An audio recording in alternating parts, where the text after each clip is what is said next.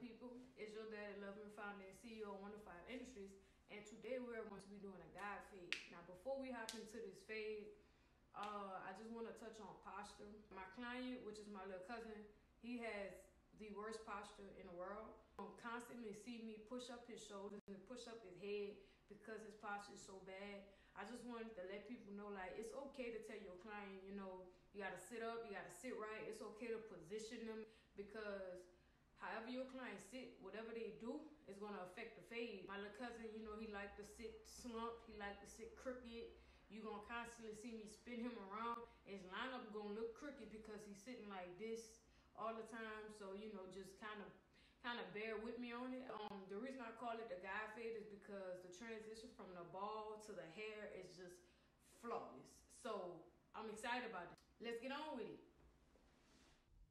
Right, so to kick this one off, of course, we start by combing the client hair down, laying everything in place.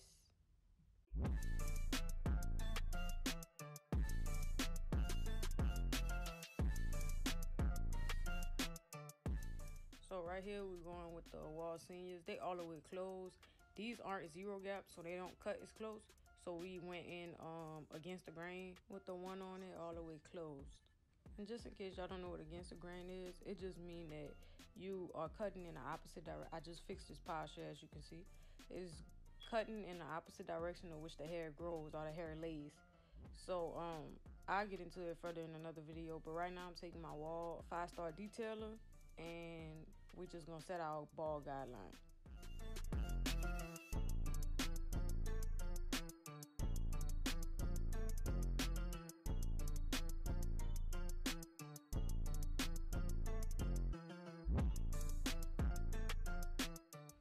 Again, I come in with my Wahl Seniors. These aren't zero gap, so when I do put my first guideline in, I'm gonna lay it in about a half an inch but I'm gonna come back again and I'm gonna widen it to an inch because these aren't zero gap, so they don't cut as close.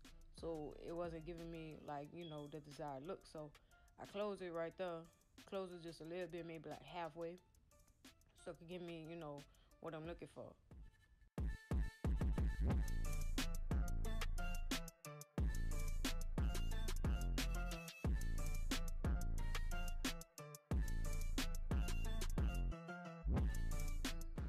For our third guideline, we're gonna go in with the one, and I want to say this one is closed.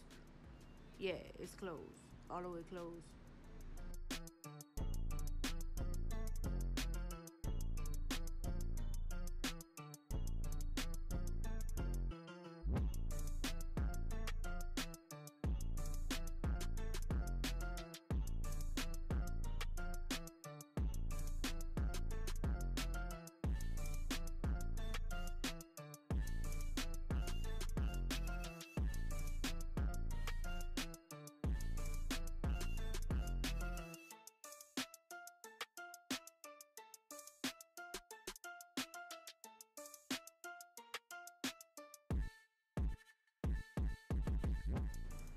Right here, I'm just showing you the line that we're gonna fade on in.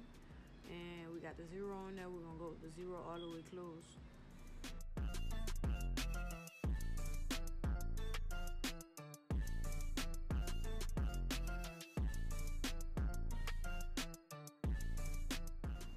Alright, and as y'all can see, I gotta raise his head up again. Uh, we're going in with no guard on it, and it's all the way closed. We're just knocking out that bottom line which was made from the ball guideline to the no guard open. So we're just gonna knock that one out and get this fade all the way finished. So like I told y'all in the beginning, my um Wahls seniors, they not all the way zero gap. So um it wasn't taking out the bottom line like I needed it to. So I just retreated to my Andis Masters because they all the way zero gap. And so we're gonna just get the bottom line out with that.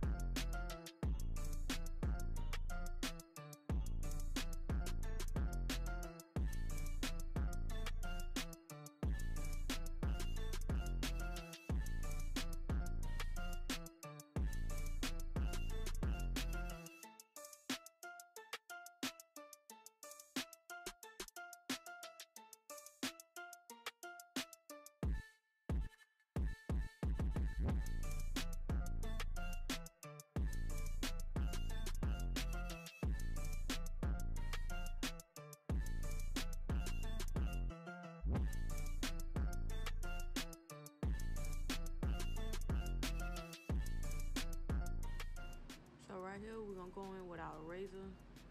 You know, do the little razor work. Like I had told y'all before, you kind of gotta teach yourself how to use the razor. Uh, when I was in school, my teacher, well, my instructor, they made us practice on balloons, like with water filled up in it. So, um, just like get you a balloon and practice your gliding motions. And like if you pop the balloon, obviously that would mean that you didn't cut your client. So just practice with the razor. Don't be scared of the razor. Like the razor, you definitely need that razor if you want to be in the barber field. So yeah, do that.